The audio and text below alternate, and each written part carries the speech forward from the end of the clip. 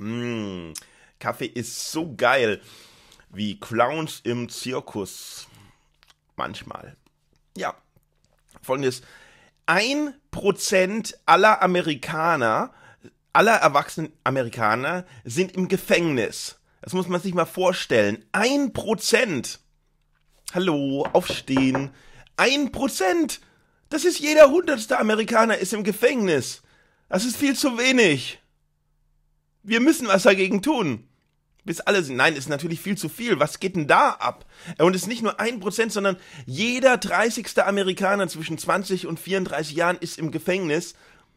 Aber jeder neunte schwarze Afri äh, Amerikaner zwischen 20 und 34. Da ist doch irgendwas faul. Da stimmt doch was nicht. Da ist doch irgendwas nicht in Ordnung. Und das hat unter anderem mit dieser Three Strikes and You're Out Regel zu tun. Die äh, Gefängnisregeln richten sich nach dem Nationalsport Baseball. Wenn du äh, das dritte Mal eine Straftat begehst, kriegst du lebenslänglich, egal was es ist. Es gibt einen, ne, Straftat begangen, Strafe, Straftat begangen, Strafe, drittes Mal lebenslänglich. Es gibt einen, der ist dann, hat dann ähm, äh, drei Tüten Chips geklaut und kommt dafür 25 Jahre ins Gefängnis. Das ist doch nicht normal, da ist doch irgendwas nicht in Ordnung. So, Jetzt kommen wir zum Zirkus. Zirkus habe ich total gern. Eine tolle Kunst.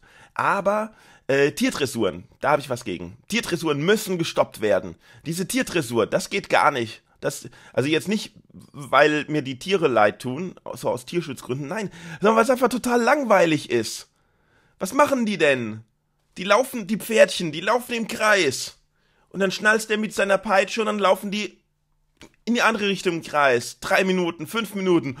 Oh, das ist langweilig. Das können Menschen doch auch. Das würde ich gern sehen. So ein paar Menschen, die im Kreis laufen, ist viel lustiger.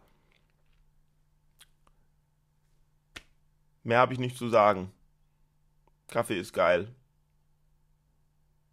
Text, Messaging. Steht da noch.